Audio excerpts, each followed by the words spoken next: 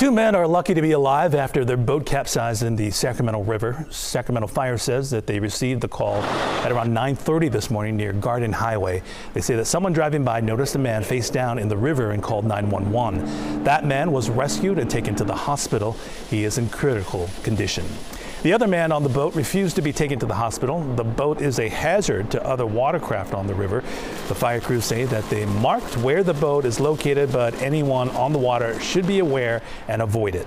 It's not clear why the boat sank.